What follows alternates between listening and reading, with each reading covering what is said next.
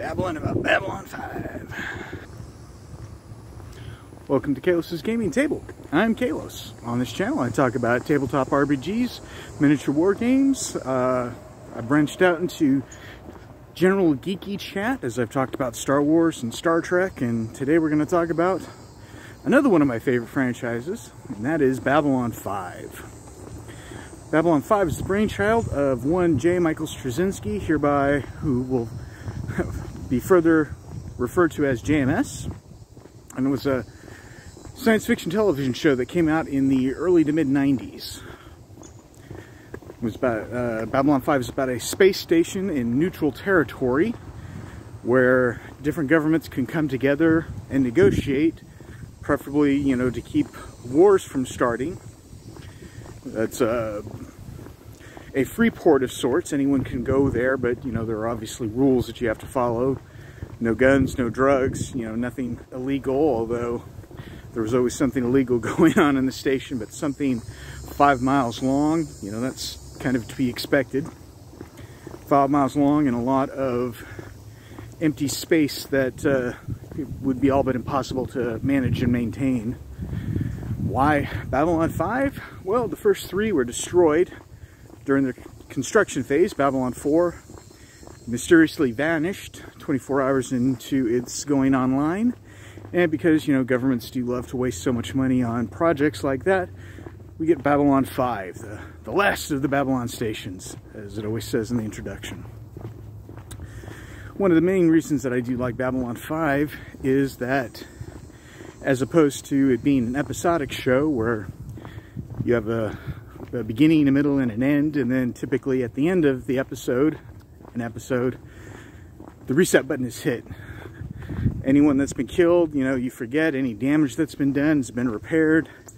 And, you know, whatever the crisis was of the previous episode is forgotten in the next episode. You know, think your classic Star Trek and to a lesser extent like Star Trek The Next Generation. Babylon 5, and while it did have what felt like some standalone episodes, actually told one big story, each season being like a book. You know, five different books, each episode being a different chapter in the book, building, you know, to the next episode, revealing more information, backstory, uh, character development, whatever you, however you want to look at it. And unlike Star Trek, it was not, you know, this rosy, peachy vision of the future. I mean, granted, it came out in the early to mid 90s, and we just come out of Desert Storm. You know, the same turmoils that we have today are, you know, still, we're still around then because, you know, some of those conflicts, you know, haven't been resolved in a few thousand years and I don't think they'll be resolved in a few hundred, let alone a few decades. But like most good science fiction, it used the setting to tell stories comparable to real life, but without having to, you know, actually say what is fascism, you know, what is oppression, you know, war, whatever the case is. You know, you still have, you know, the actors in plastic masks, but there's a lot more variation to an extent, as opposed to everyone almost looking the same a lot of the Minbari looked different. You know, the Narn had different spots. Uh, and, you know, that was always really good. I mean, when it, excuse me, Babylon 5 first started as a telemovie called The Gathering that basically laid out the characters, laid out the story, and had a self-contained story, but laid enough groundwork for you know, an entire show. You know, it was effectively a two-hour movie pilot. Sure, there were some things that were changed. The executive officer got swapped out, so did the, the chief medical officer. Uh, the communication wristbands were changed to the little things that they put on the back of their hands. The weapons, you know, looked a bit more streamlined as they probably got a bit better budget or wanted something smaller to be able to mass manufacture. I'm sure you can find that online. But the show was, at least for me, really well written. had smart characters, had some interesting ideas. And, you know, like most other TV shows, sure, there are some stinker of episodes. I think I talked about Grey 17 is missing, but, you know, your mileage may vary. You know, one episode that a lot of people give a lot of crap to, TKO, you know, is, you know, one of my and my wife's favorite episodes. You know, it's, you know, there is no unifying fandom. Everyone likes different things and we all like it for different reasons. Much like Deep Space Nine, I really enjoy it because even though, you know, the Earth-centric characters are part of Earth Force, the future military, while they try to be good, you know, nobody is actually some lawful good paladin. Sometimes tough choices have to be made, and there are consequences for their actions, and, you know, an event that happened in one episode, you might not have the those consequences and the ramifications of it till future episodes. And you wouldn't know it at the time, but when you watch The Gathering, so many different plot points are laid out that you, you don't realize that how much they actually released or how much they actually put down until you get to that particular season.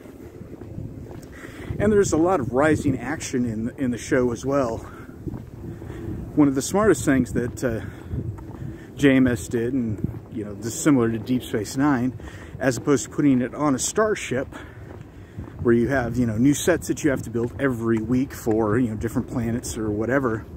It's set on a space station, so you just build one big set of, uh, of sets, and you know, you might have the occasional ship set or whatever, but not something that you have to worry about all the time and since it's set in the same, you know, ship, or the same station, excuse me, you know, you can actually get a lot more done.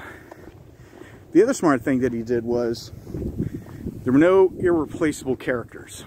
Every character had some sort of a trap door for, you know, whatever reason. If, if heaven forbid, something happened to the actor or they just say, you know, this, the show isn't for me anymore, they had a way to be written out of the show and replaced. Uh, case in point, uh, well, spoilers ahead. Granted, this show is 25, 30 years old. Maybe not that old, but somewhere in that ballpark. It's not like the, the show just concluded last week and I'm going to start, start spoiling it for everyone. But in season one, the commander of Babylon 5, Jeffrey Sinclair, played by the late Michael O'Hare, was written out at the end of season one.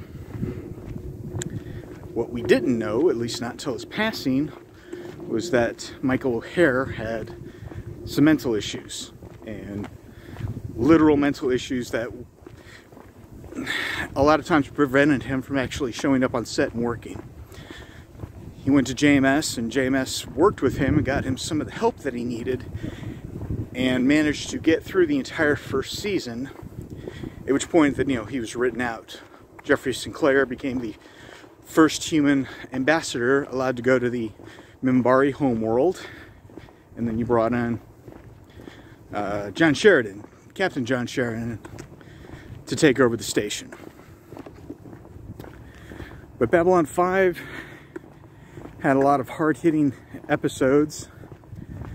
You know, one of the big things, and not to bring modern politics into it, but one of the big things that led in season one and, bled, and bled over into season two was how a corrupt government could come in and legitimately take the place of the existing government. President Santiago was elected. He was a good man. Everyone liked him, but he was assassinated, although nobody thought it was an assassination. It was an accident when Space Force One, I think it was Space Force One, whatever they're calling it, the uh, the, the president's personal ship was destroyed, and then his uh, vice president, Clark, becomes president. Clark had an illness, illness in air quotes, where he wasn't on Space Force One with Santiago, and then he becomes the new president. And in the background, things start changing. He starts reshuffling cabinet members. He starts bringing more things under more of his direct control. and things start to turn very fashy. He starts having the, he starts putting out the, this ministry of truth that goes out and you know effectively tells people what to think, putting spin on negative things to make whoever's doing it look worse, and anything that the government does, you know, spins it so that it's somebody else's fault or it, you know it's not what you think. And over the course of the show, you know, starting in the second season, when Sheridan takes over, they realize what's going on and figure out that they're being played to an extent. Sheridan had been picked because he was very much a military man, a, a good soldier, and he fought against the Minbari during the Earth Minbari War. And they figured he would probably, you know, keep keep everyone on their toes and make sure that nobody starts any crap at the station. Obviously, that didn't happen. But going back, you know, the point of Babylon 5 was to create a neutral ground, a place where governments and different peoples can come and trade, as well as negotiate treaties to avoid open warfare. It fails. There's four distinctive, you know, three distinctive seasons where that fails, you know, when the uh, Membar, or not Membar, the, the Narn and Centauri War. But much like, you know, good fantasy, there are ancient evils and ancient good that have been, you know, moving around in the background.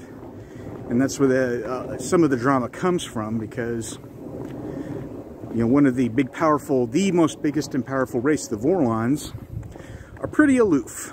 They don't want to deal with anyone. They show up for meetings. They might throw votes, but no, they don't converse. They don't schmooze. They don't mingle. And the Vorlons live, you know, live inside of an encounter suit.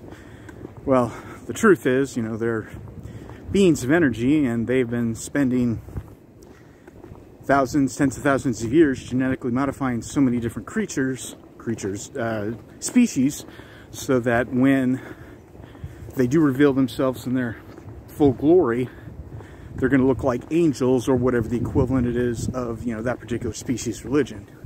Absolute manipulation. Along the way, the shadows, the opposite side of that particular coin, are the other ancient species. And towards, you know, in the middle of it, we find out that the shadows have been enemies of the Vorlons, but they weren't like mortal enemies at first. They were both left behind from the ancient races to help shepherd the younger races to give them a chance to grow. But the Vorlons valued order and complacency, well, not complacency, but order and obedience. There we go.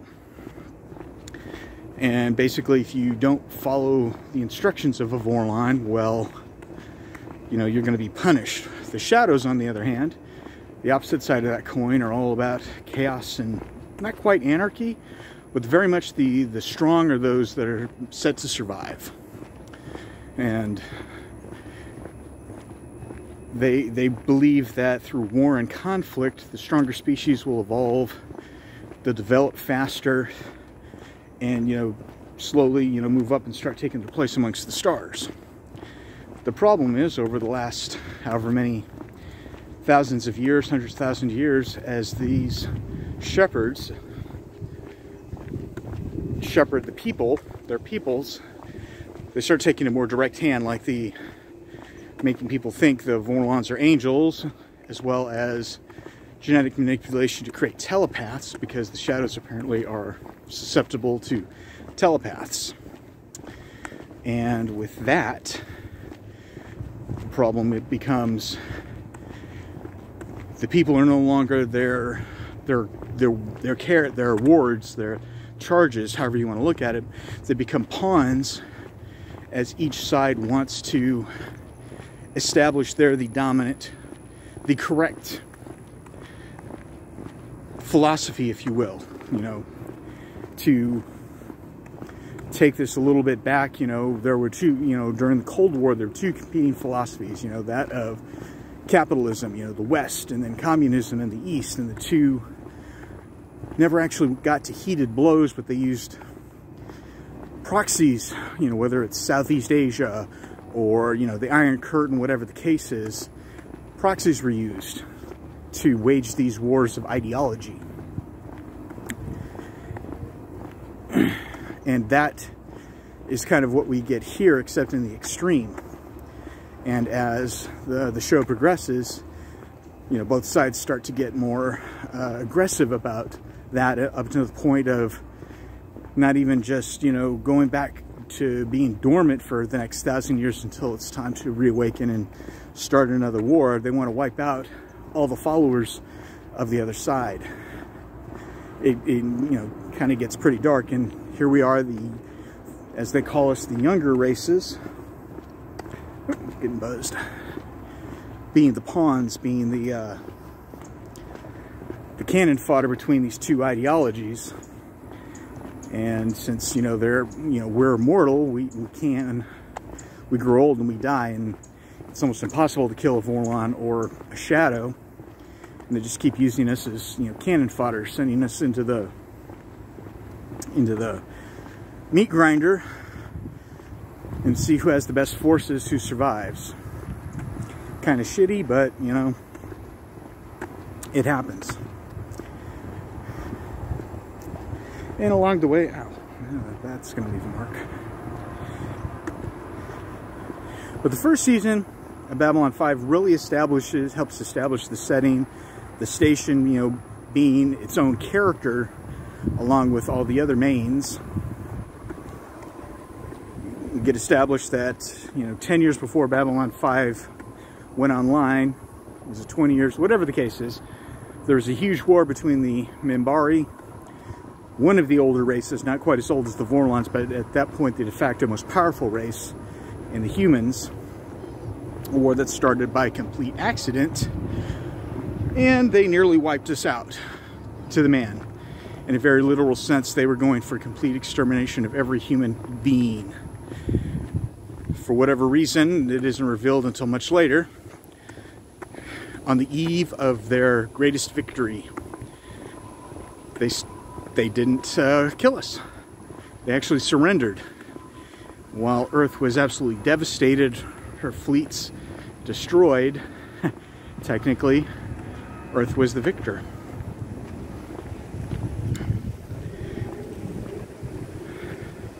And along the way, you know, we get to see other conflicts. You know, the the shadows returned, but they didn't immediately start going after targets, they were looking for races to actually help them. Pawns, you know, middlemen, something that they can manipulate into doing stuff, but not actually have to deal with possibly getting caught, getting getting caught to manipulating everyone. It's about to get dark. I'm fixing to walk underneath a uh, an overpass. Not sure how uh, how well I'll be seen. We'll, we're about to find out going on a bit longer walk today. This last week, I get off of work and then it gets dark pretty quickly.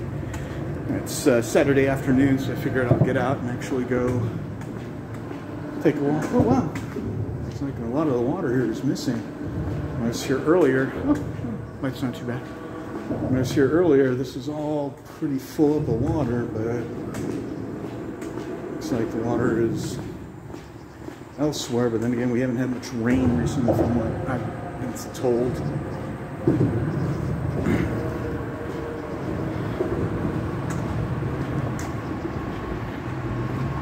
So at any rate, the Shadows looking for their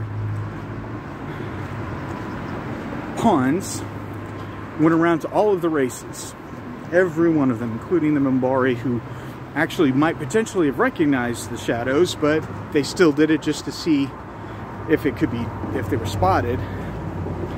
And effectively, we asked them a simple question. What do you want? In order to gauge, I'm assuming how manipulatable those people were. Ultimately, they found the Centauri Ambassador Mollari, who wanted a return to the former glory that the Centauri Empire had. Years and years ago, the Centauri Empire had spread across, you know, much of the known galaxy. They were a powerhouse. But over time, much like the Roman Empire, you know, they became decadent. They started to lose their edge, their focus. And then, system by system, they just started to retract upon themselves and you know, live off of past glory. During this time, they uh, invaded the Narns, who were a, a very, I won't say simple folk, but they weren't as technologically advanced as so many others. But uh, they wanted Narn because of Narn's raw resources. And so they enslaved them for you know, 20, 30 years. You know, the Narns waged a, uh, a guerrilla war until the Centauri finally said, we're, we're done. This is no longer feasible. We're pulling out. The problem was the Narn now had access to more advanced technology and they went ahead and had a huge chip on the shoulder and a giant grudge. So they took to space using the knowing how to knowing how to uh, get their uh, materials out of their planet, they started building their own war machine and started to spread their own mini empire.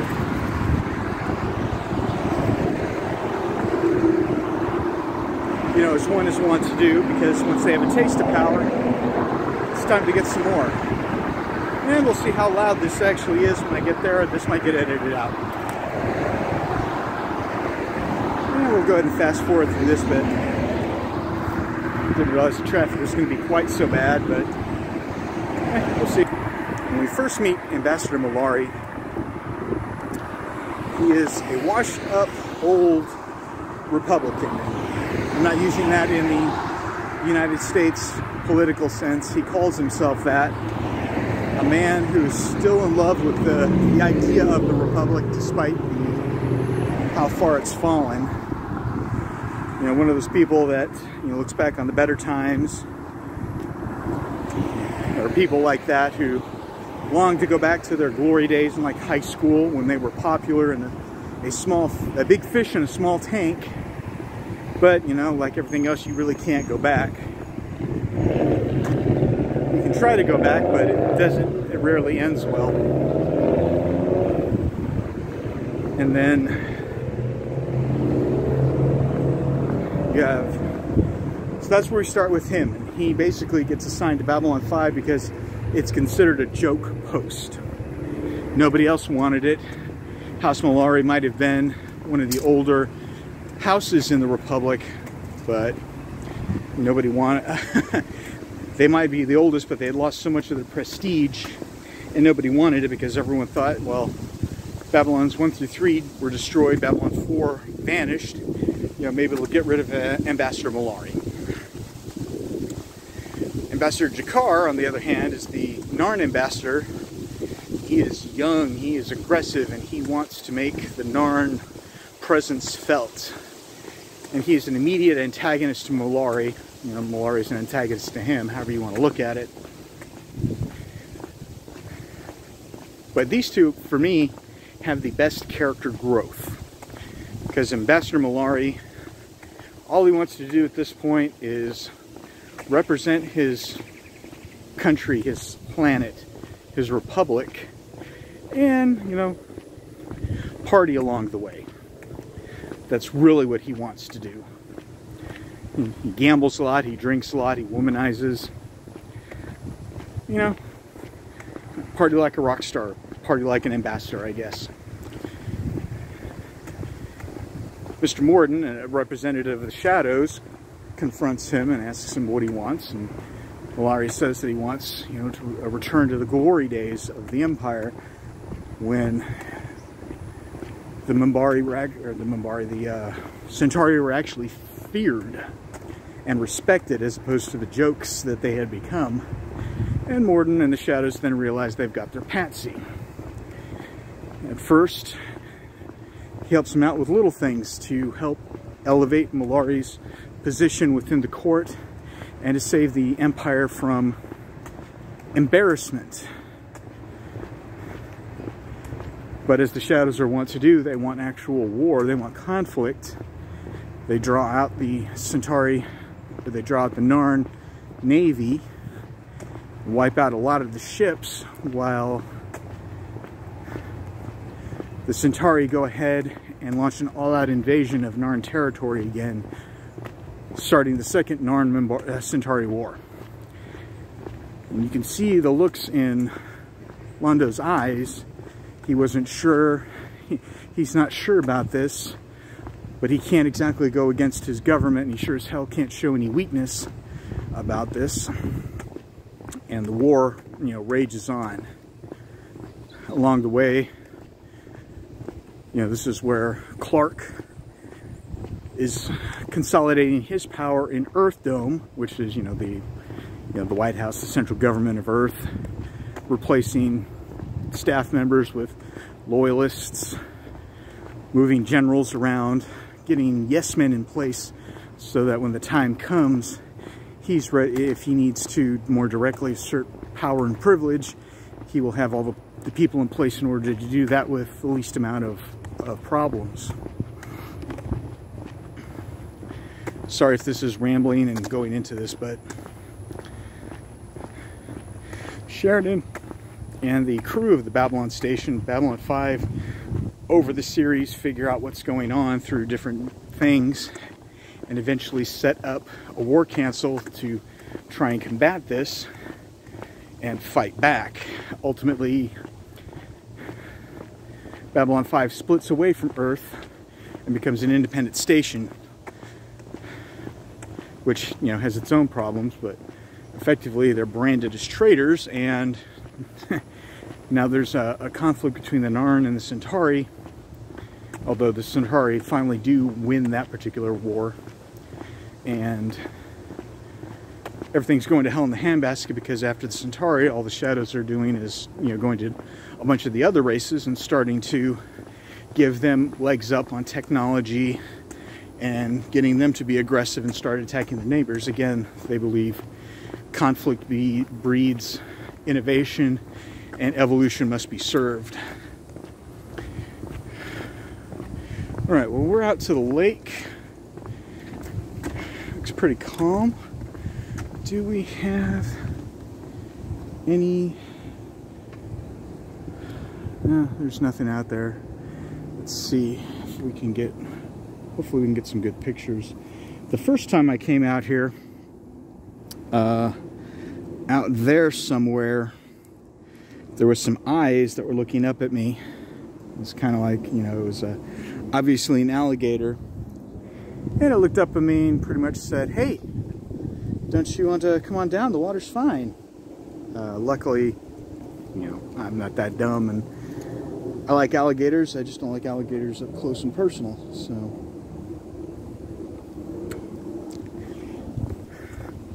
But the cast of Babylon 5 I thought was excellent. Uh,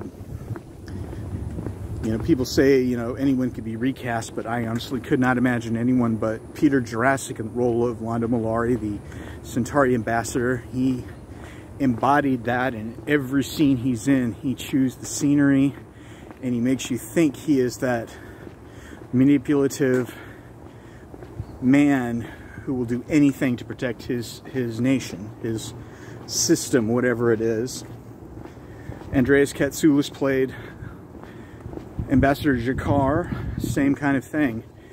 You know, he owned that role, and I, you know, if they ever do reboot the, the show, you know, there was talk about that, and I think that fell by the wayside when uh, the CW was talking about trying to get it together, and then they got sold, and, well, that's another drama-filled story for another day. But John Sheridan, played by Bruce Boxleitner, Bruce Boxleitner, Claudia Christensen, uh, or Claudia Christian, whatever. My apologies for getting your name wrong. She plays Commander Susan Ivanova, the executive officer of the station. Uh, Richard Biggs played Dr. Stephen Franklin, the chief medical officer of the station. And each one of these characters has growth throughout the series, and they all have their own different story arcs. Dr. Franklin, for example, is a workaholic. And like most most uh, good intentions, you know, those roads of good intentions are paved with gold and lead straight to hell. He starts taking stims, you know. At that point, I think it was like some sort of a, a legal stimulant, but at a certain point, after you take enough of it, you become addicted to it. And come to find out, sure enough, he, he did become addicted to it. Garibaldi, played by the late uh, Jerry Doyle, uh, confronts him on it. And Stephen Franklin resigns as the chief medical officer and goes on walkabout trying to detox himself and effectively find himself. Sure, we've all had that experience where we just want to drop everything, go for a walk until we find ourselves and figure out what the hell we're going to do with our lives. Jerry Doyle was, you know, he passed several years ago an alcoholic and that was one of his storylines, where he had given up the bottle, but after several stressful periods, he had returned to it. I've never experienced addiction like that, but I've, I've seen what it can do, and yeah, that's pretty bad. Claudia Christian's character, uh, Susan Ivanova, is a latent telepath in, in the canon of Babylon 5. Telepaths are not supposed to, no matter how weak they are, are supposed to be able to serve an Earth force. A, uh, a psi corps was developed where anyone with psi, psionic telepathic abilities is sent for training to help serve. And then if you don't want to serve, you can either go to prison or you take a drug to suppress your, your telepathic talents. She hid this from everyone, and you know, as Clark was attempting to establish some loyalty tests with you know command staff, you know, what better way to do that than with a telepath who can actually go around and, and muddle around in your mind. She was going to resign until Sheridan or was it Sinclair? I forget. Whoever whoever it was, it is, I'll be honest, it's been a while since I've seen the show. You know, basically comes up with a workaround to prevent that from happening. But after Babylon 5 breaks away, they become an independent station, but without the resources of Earth Force and EarthGov to help provide things like, you know, food, spare parts, replacement soldiers, technicians, that kind of thing. They have to make do with what they have and open up all right, we got somebody up here, so I'm gonna just turn around and start walking back. So they uh, basically become a free port and start hiring all these smugglers that tried to run different things through Babylon 5. But instead of smuggling guns or drugs or whatever illegal commodities, trying to get, you know, replacement parts for the Star Furies or food, medicine, you know, whatever the case is, But if you haven't seen Babylon 5, I highly recommend that you check it out. Uh, I am not, used to be on HBO Max, HBO Now, whatever the hell they're calling it. I guess the contract ran out and it's, I think it's streaming on Tubi or something like that. I mean, you can obviously get the show through any of your streaming purchase places, you know, uh, Google Play. I'm pretty sure Amazon has it but certainly give it a, a, a, go or at least watch some some of it on uh, YouTube I'm sure it's there as well some of it does look dated you know you, you can't fight that because it was filmed in pan and scan well actually no I guess technically it was it was still filmed in 16 by 9 but it was cropped to fit on a normal television screen and when you watch you know a show that was designed for you know regular definition on high def or 4K television you see where a lot of it, a lot of the sets look a lot more rickety. They don't look quite as polished as they did on that small television. But much like Doctor Who, for me, I'm not necessarily watching it for the visual effects. You know, those are can be a big part of it, and depending upon how good or how bad they are, they can pull you out. But at the same time, it's the story for me. It's the story that uh, keeps bringing me, excuse me, keeps bringing me back over and over again. Because I find the story exceptionally compelling. I like the fact that the characters are not one-dimensional. They're not all good they're not all bad. I mean, there's a handful of characters that are truly, you know, reprehensible, no redeeming qualities. Emperor Cartagia comes to mind. But, you know, the, the, characters, the main cast, the supporting cast, such, you know, like uh, Bill Mumy of Lost in Space fame plays Lennier, the adjunct to Ambassador to Delenn of the Minbari Federation. And he is very much a follow the orders, but also thinks outside of the box when he needs to break a rule. The Minbari are very honor driven and it is bad form to the point of dishonoring one's clan to do some things, but he goes out of his way to figure out how to do it. And hello. Hello. But yeah, give it a, give it a shot. Uh, the first season, a lot of people don't like because they prefer John Sheridan over uh, Sinclair. But at the same time, you get the introduction to the cast, you get the introduction to the conflict, and there are some outstanding episodes in the first season. You know, I forget what the episode's called, but effectively you know, kind of in the, the same vein as like the writer's strike. Uh, Babylon 5, you know, on top of being a military installation, also handles, you know, cargo coming in and coming out. And in order for cargo to move through Babylon station, you do have to have dock workers. And like a lot of people, they might have to sign a shitty contract in order to get the job done. And you know the powers that be will take advantage of that contract as fully as they can. And all of a sudden there's a massive accident. People are killed. And these dock workers are looking to strike to get a better better wage better working conditions you know more help you know all all of the stuff that you know modern people are are screaming about as well and in big corporate fashion the company that employs them sends out a knee strike-breaking knee thug. But he uh, thinks that he's got everything in hand, and he's going to invoke what is called the Rush Act. And the Rush Act is basically, I, from what I've read, it's based off of Rush Limbaugh. You know, one of the. Oh, I'm not going to get into the politics of it, but at any rate, the Rush Act basically gives whoever the military commander is of that station the ability to break up the strike at however they see fit.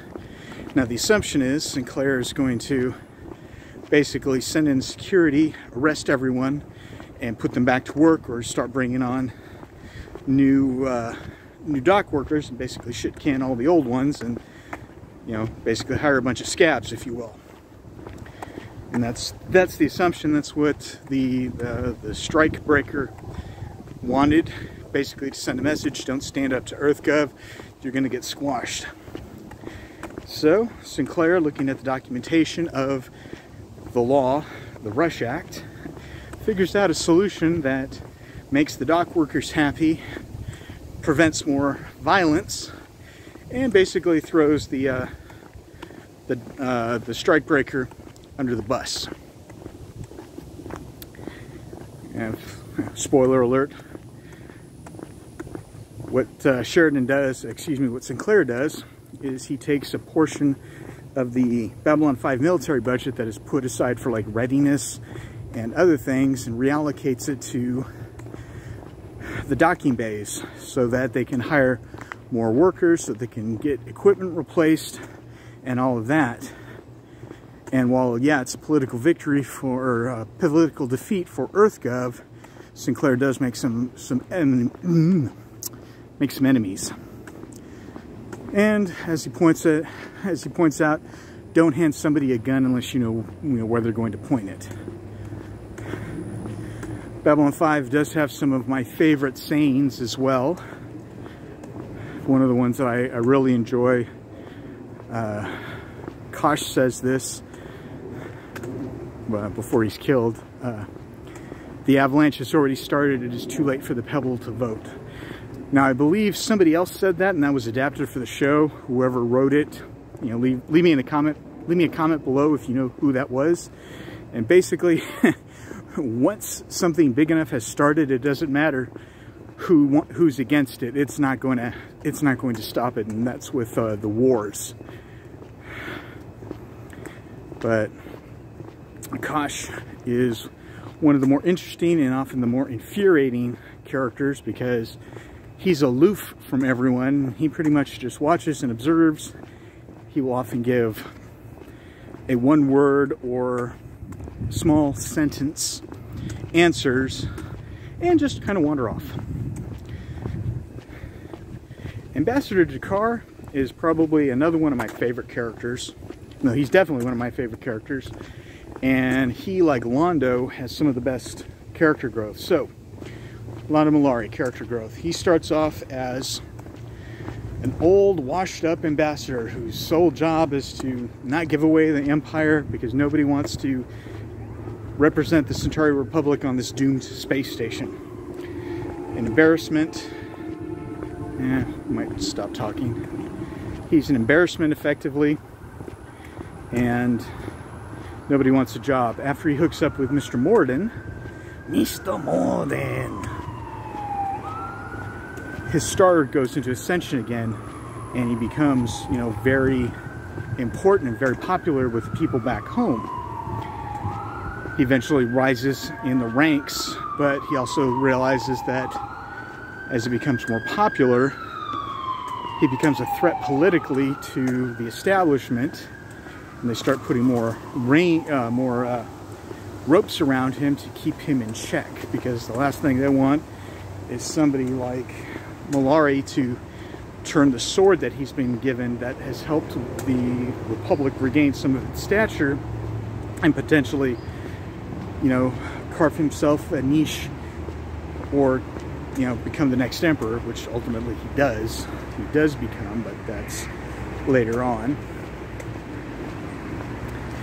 And somebody even comments that Londo's holding on to a wild horse because he doesn't know what to do otherwise. He's terrified, but he knows if he lets go, that's it. And ultimately, you know, Londo is a patriot. He wants to serve his his nation. He wants to serve his people, and he does it the best way that he can. But you know, let's face it, he's a tragic figure in the the greatest Greek sense. All right, I'm gonna stop talking. I'll figure out how to fast forward this until I get to the other side. Babbling about Babylon 5. Coming to the end. Start the one mile trek back to the hotel. so, let's move a little away from the road here because there's still quite a bit of traffic. All right.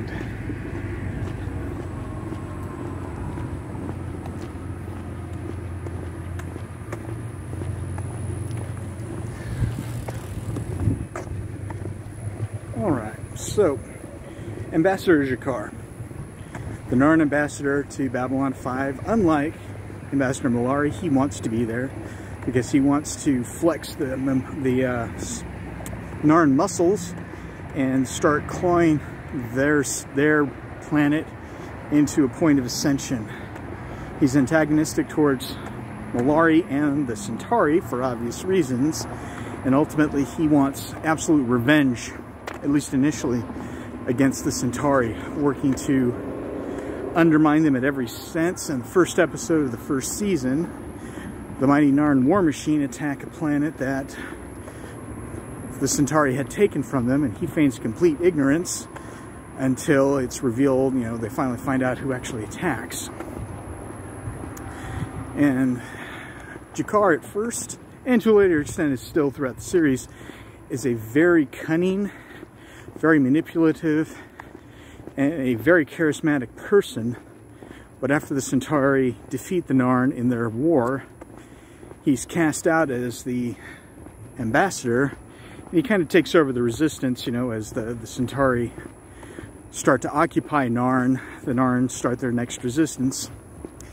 Now, here's the deal. This, since the Centauri had gone through this before, they've changed things up.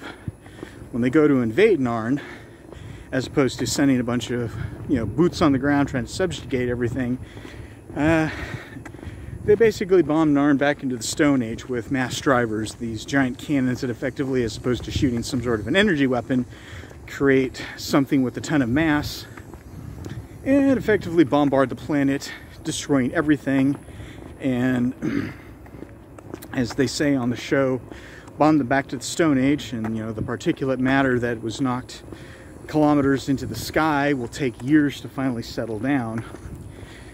After Narn is finally subjugated and or surrenders, they put out you know several several very strict edicts that every member of the Kha'Ri, the which is the ruling body, must surrender anyone who, any Centauri that is killed by a Narn, that Narn's family, and like 500 more are going to be killed.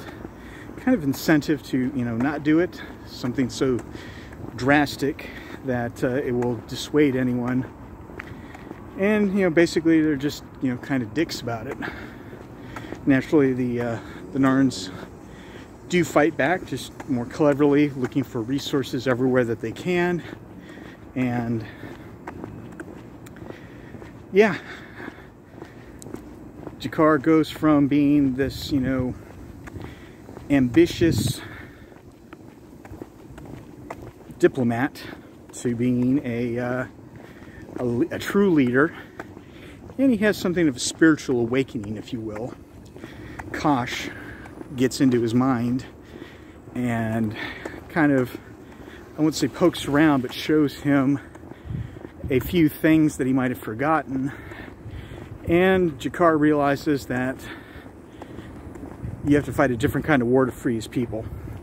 And he's still can be ruthless, but he, he does take control of, of the people that are free and uses them more wisely.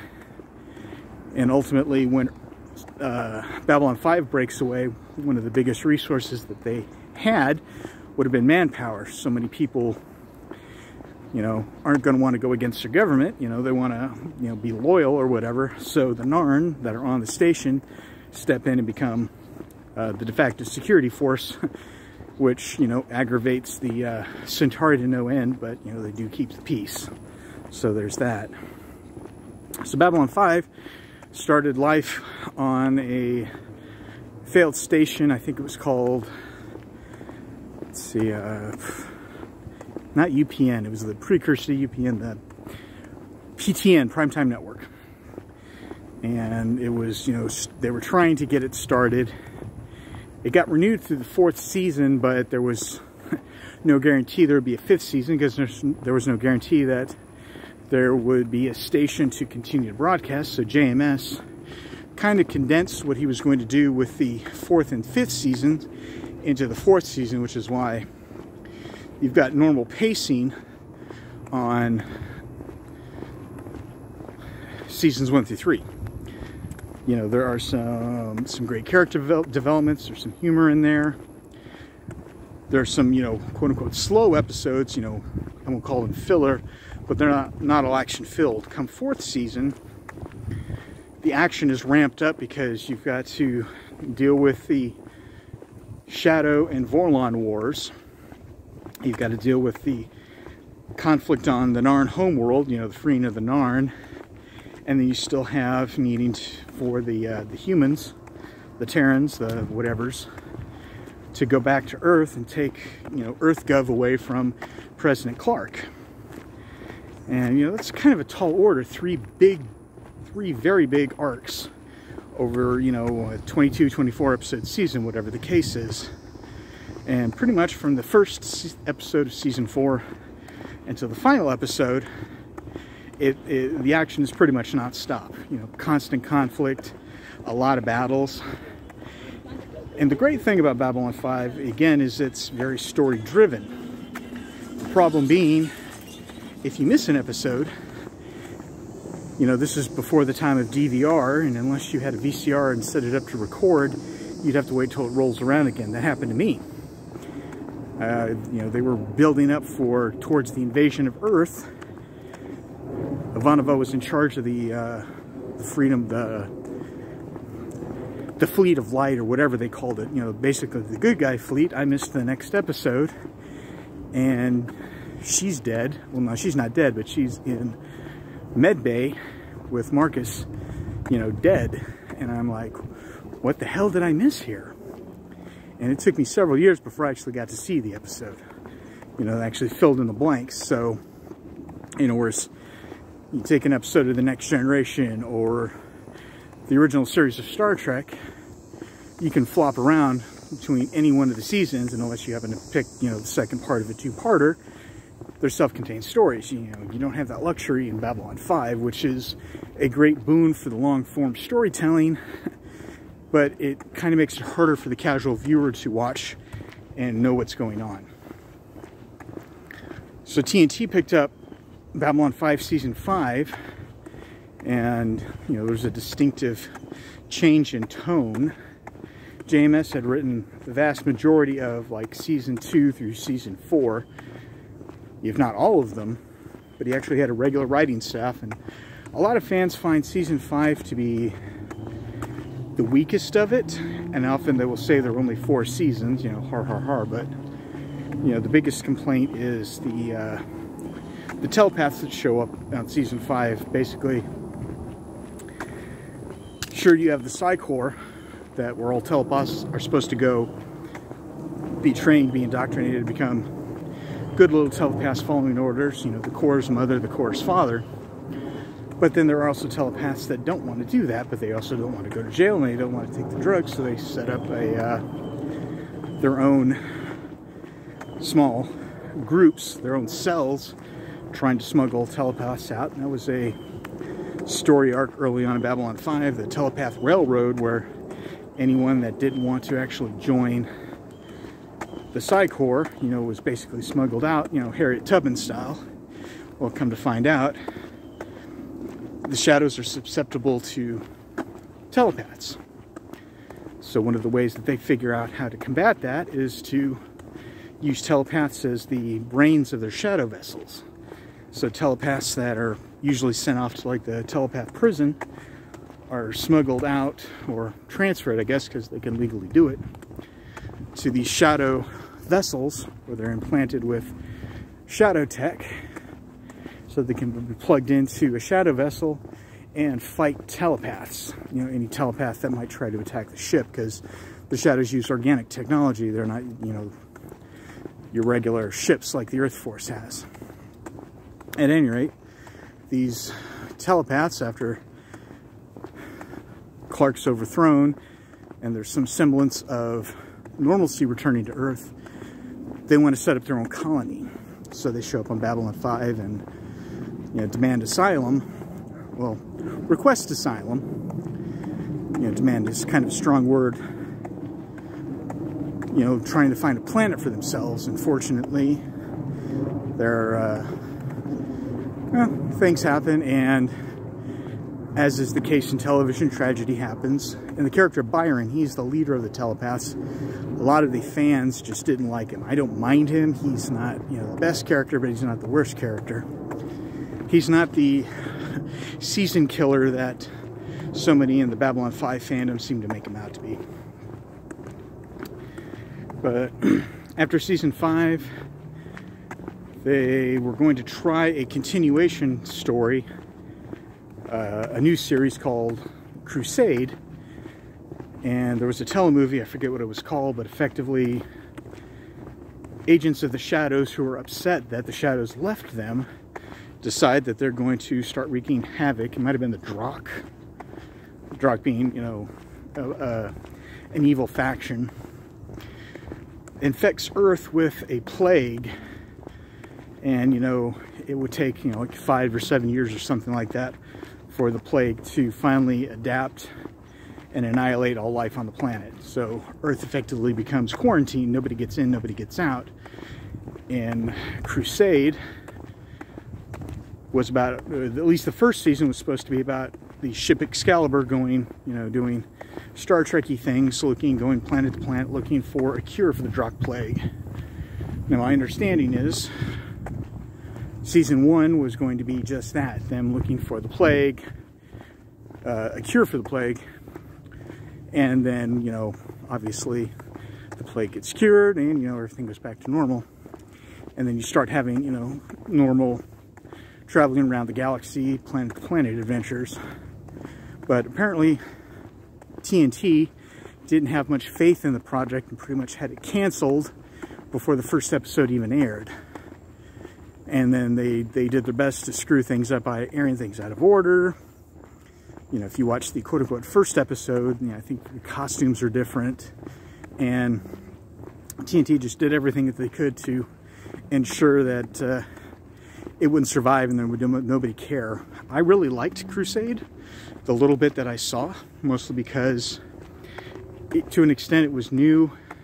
Sure, it was set on an Earth Force ship, but it had an interesting cast and about you know, episode four, episode five, that's when the writers and the cast really started to gel.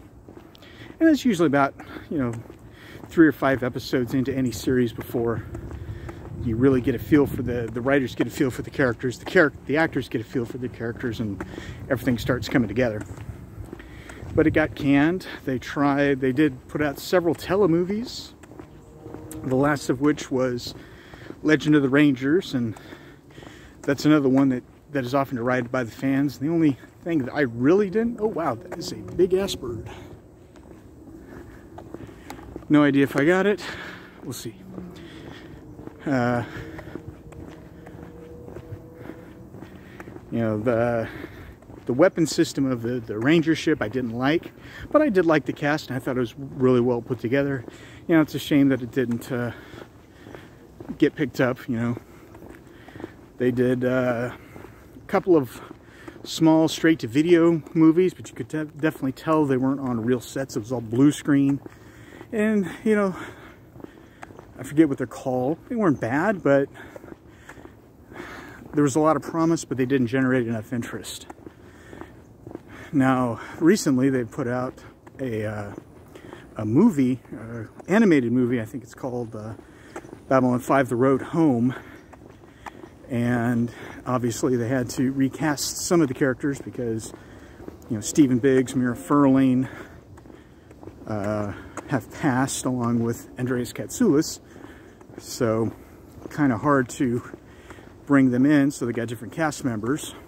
I haven't seen it yet. I've I've read some really good reviews. I've also read some really bad reviews. I guess it just depends upon you know whether you like stories continued animated form I'm sure I'll see it at some point just not anytime soon. But yeah, Babylon 5 has some absolutely amazing episodes. Uh, if you haven't seen it, I totally recommend it, especially if you're a sci-fi fan. Uh, it does take a little while to get used to. Season one is hit and miss in a lot of aspects because, again, you know, they're getting used to the characters, getting ready for the story and all of that. But uh, don't skip season one. I'm sure that you can find like order watch episodes, episodes that you can watch and episodes that you can skip, but every episode has something that contributes to the overall story, even if it's something small. And there are some great, great payoffs later on in the show. And, you know, my favorite, and one of my favorites, I should say, and if you haven't seen it, you won't get it, but if you know, you know. But give Babylon 5 a, a go. Let me know what you think, because it is one of my favorite shows. I like the the moral ambiguity that a lot of the characters have, because, you know, characters do things that are morally reprehensible, but they know that they have to be done in order to win And it's, I just find it very well written, so I highly recommend it. If you've seen Babylon 5, what do you think? If you don't like Babylon 5, let me know down in the comments why you don't like it. Try to keep it as polite as possible. This is uh, a conversation. I'm not looking to be attacked for being a Babylon 5 fan. If you've seen The Road Home, what did you think of it? Do you recommend it? Go ahead and like and subscribe. Leave me some comments below, and we'll catch you the next time.